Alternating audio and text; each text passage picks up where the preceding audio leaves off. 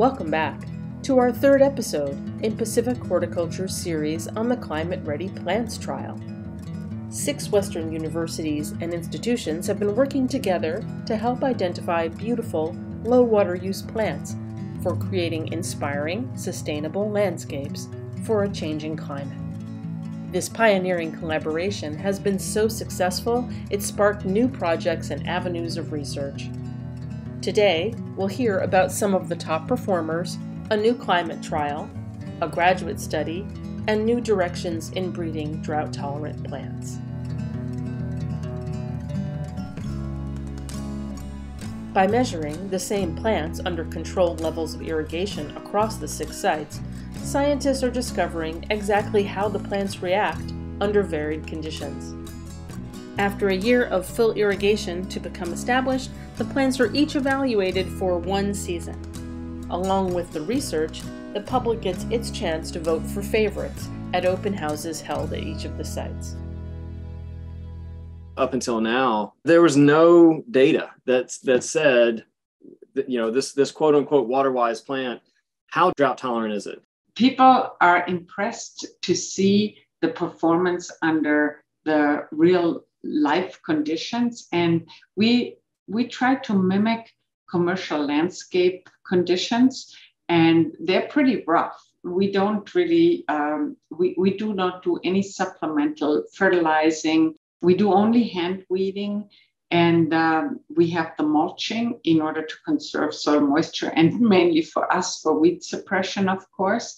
But otherwise, we do an absolute minimum on pruning and um, when there is pest and disease, we don't do any treatments. And that is really good because it helps us to evaluate the true potential under our climatic conditions.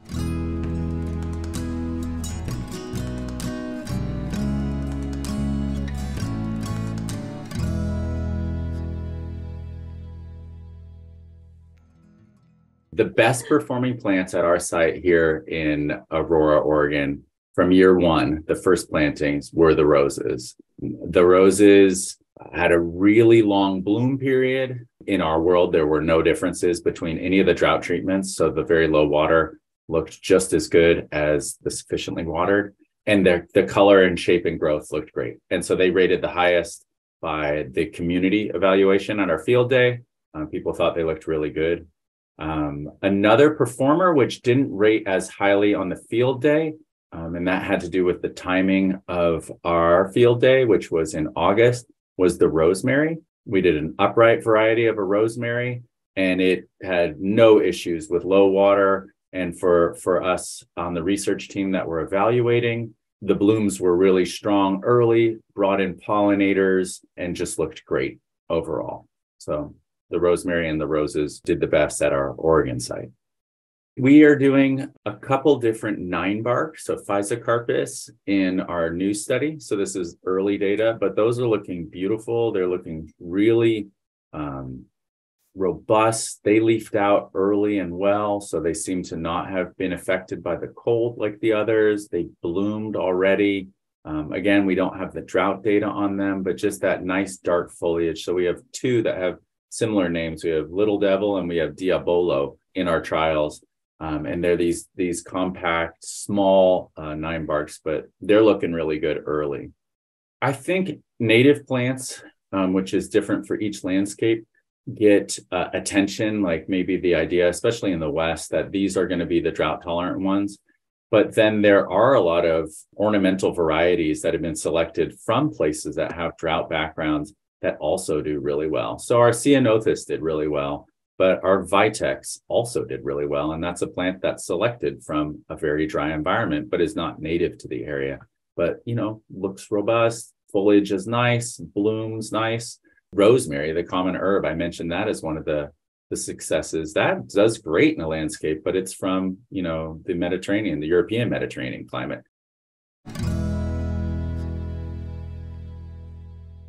one thing that i think that as we expanded multi-state that we realized is that timing matters. So I think as far as like as a team, as a process, we're learning that there's an overall project vision, But then there's also definitely site specific nuance where you have to take into account what's going on in your site.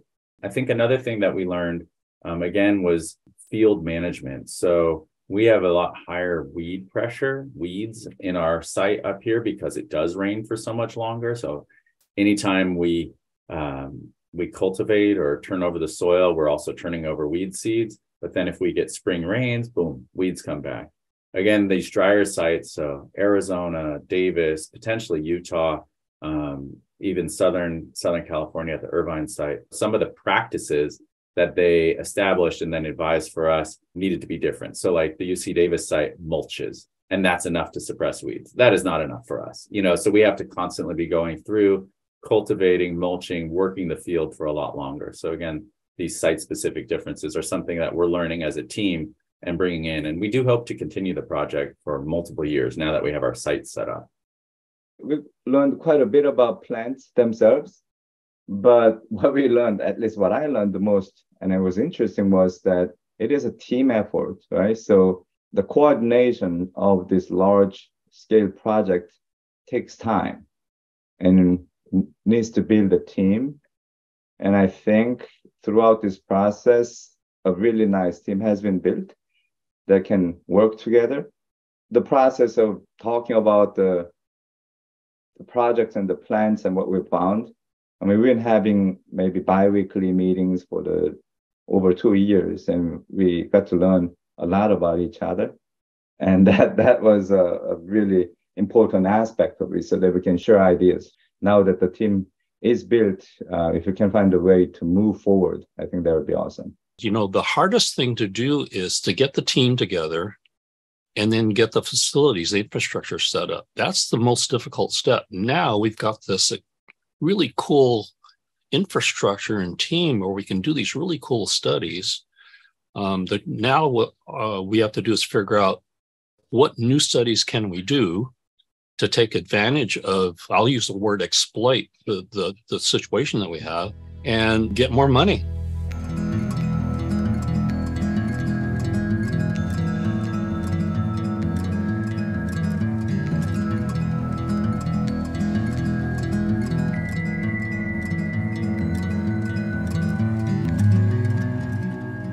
We did have one graduate student um, work on this project as a thesis. Her name was Alison Frohn. And what she did was to pick five taxa, a common taxa across sites, and she analyzed those five taxa and finished her master's. We're now working on finalizing a thesis and turning that into a manuscript for a journal submission. So we are in that process. So it's almost there. So we haven't really finished all 15 taxa analysis yet, but of the five common taxa that we had across the sites, all of them did pretty well. It was a little bit of a surprise for us because we were expecting to see some differences, at least between high and low treatment, but uh, we did not see that difference. And especially when we were looking at sites like really um, hot and dry sites compared to the northern sites where we had um, in Seattle as well as in Portland area.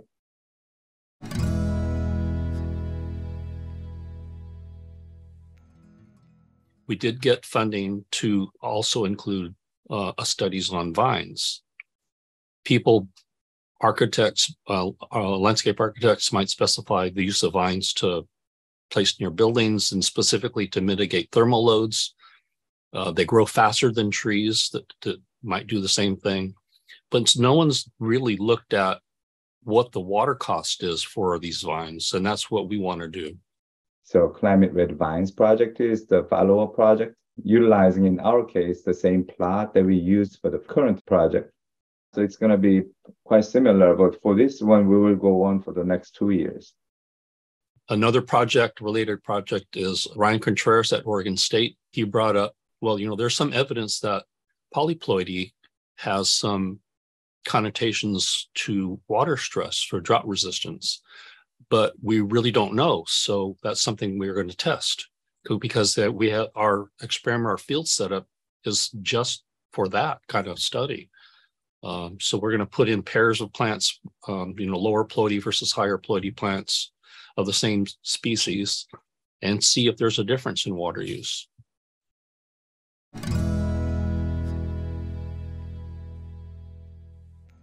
I see the future of plant trialing going into something that's really aimed toward producing climate resilient plants that people actually want to put in their gardens. I think our results are pointing to the need for plant breeders to uh, be developing resilient plants that can be tolerant of, uh, of, of these temperature extremes as well as these moisture extremes. And this isn't something that's new. And the plant breeding process, especially for woody ornamentals, is something that can be on a, a decadal scale, but definitely is multi-year. Um, it's it's different than let's say like an annual, like a bedding plant. And so as a scientific community and you know as a culture we've been aware that climate change is is is something to be addressed for the past 30 years 40 years right you know there've been alarm bells and so plant breeders have been focusing on this already. So that's the good thing. There are already plants in the pipeline. Um, and then trials like ours that are on these huge latitudinal gradients covering the west um, they're providing sort of the empirical evidence. Um, they're providing the engagement with growers with you know plant people to come out and see it. What we know from the genetics is that the different traits that may be important in plant survival, such as uh, resistance to drought, resistance to salinity, and resistance to heat stress, um, they are usually linked to different genes and not necessarily to the same ones. And so I think um, it will not be um, that easy. And I think there will always be some field testing required in order to make sure that the plants will withstand some of those really critical um, environmental conditions that we are encountering and that we will be encountering. And so it's kind of uh, reinforcing this theory, this concept that, like, look, plants are going to be struggling in different ways.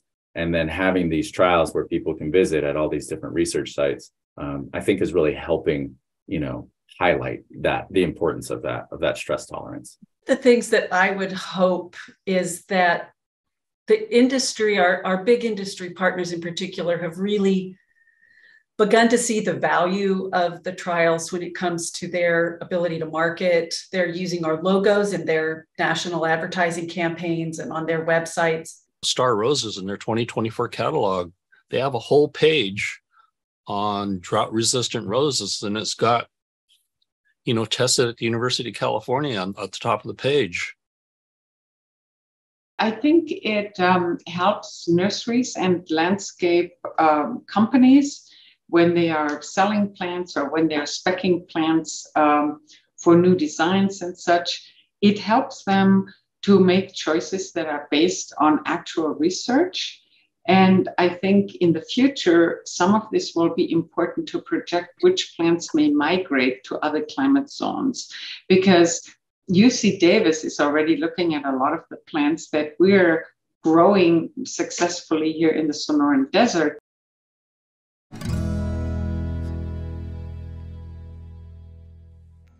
The lead PI, kind of the visionary of this, Loren Oki at Davis, I mean, he has this nursery background and a landscape ecology background. And so he's seeing all of it and how it matters to bring the pieces together rather than just, you know, these individual parts of it. So maybe the plant grows really well in the nursery, but then you put it out in the landscape and it doesn't do what people hoped for it or vice versa. Maybe it could look beautiful, but it just is hard in propagation and production. And so those things are really important for making you know resilient and successful landscapes. It's not just one stage. Big team the big picture has been amazing.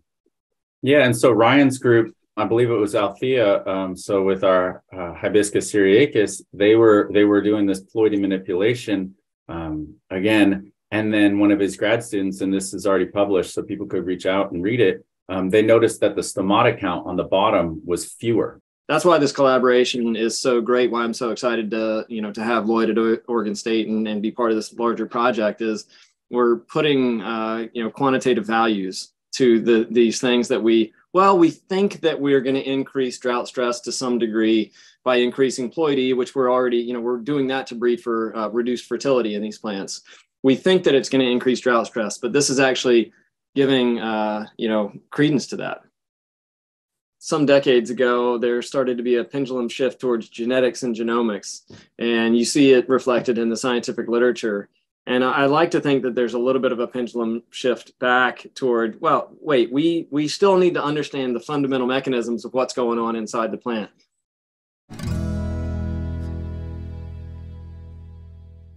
Ploidy is a big foundation for my program. So ploidy is simply the number of chromosome sets that an, uh, an organism has. So humans are diploid or diploid, uh, which means that we have two sets. We consider most plants to be diploid, but really as we dig into the science, every angiosperm we think has undergone what we call a whole genome duplication. So there's over evolutionary time, there's been duplications of the, the, the chromosome sets as we've gone along we're using ploidy manipulation. So we're changing the number of chromosome sets that plants have, mainly to uh, impact their level of fertility and to reduce fertility because we want nursery crops that grow where we plant them, but don't escape cultivation and go out into natural areas. So in hibiscus, in maples, in barberry, in spirea, um, yeah, there's a, a long list of plants for which we're developing these odd ploidies. And uh, I think it's a really great opportunity for the green industry as a whole. We're continuing to market more of these uh, plants that present less ecological threat by escaping cultivation. Now they're also that you've got this value added. A, they're a known commodity for growers and consumers. So consumers ask for these plants by name. Growers know how to grow them well. And now we can release plants uh, to the industry that have more tolerance to drought conditions. So consumers have to use less water to, to grow them in their home landscapes as we're moving more toward low input landscapes. So that, that I think is the, the thing that makes me most excited. And so that wasn't something that he was breeding towards. But then if we're looking at again, well, plants lose 300 molecules of water compared to absorbing one molecule of CO2. So they're essentially just breathing out all this water vapor, right? So they're losing all this water. And then he's developing these plants that are, have fewer holes. So, you know, the ship is less leaky. Then what's that do for drought tolerance? So, did he breed a beautiful stress tolerant plant that's now also sterile? You know, that's the question that we're answering. So, the answer was yes, also. So, spoiler alert. But yeah, it, it bloomed well. Uh, it looks great. I think it will help create an impetus to get these low fertility polyploid cultivars into the hands of consumers. I think it could be picked up and marketed by the green industry.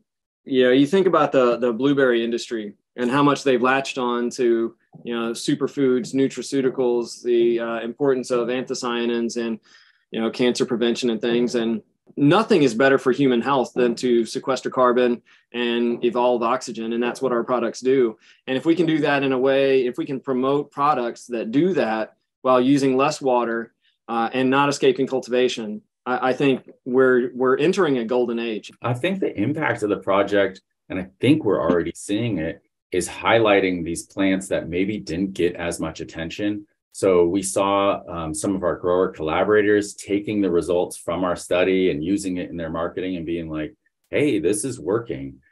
So stomata are the pores that plants use for gas exchange, um, taking in CO2 and releasing water vapor.